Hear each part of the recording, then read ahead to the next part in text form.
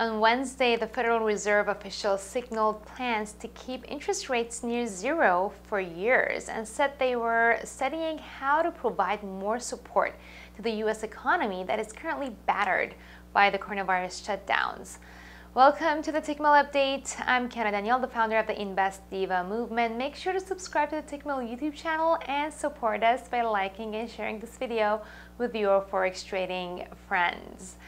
On Thursday, we'll be looking at Italy's industrial production, the US weekly jobless claims, and New Zealand's business PMI. Today, I'm looking at the Kiwi yen pair, which finally slowed down on its gains and started a pullback beginning of the week. It has now hit the first medium-term support level at 69.58, but still remains above the Ichimoku cloud on the 4-hour chart. The next support level is at the 38% Fibonacci retracement level of 68.39. Do you think this is a mere temporary setback for the yen pair, or do you think the uptrend has ended for good? Head over to the comment section and let me know. Of course, trading in the financial markets involves the risk of loss and you should only trade the money that you can afford to lose. If you like this video, give it a thumbs up and subscribe to the Tickmill YouTube channel.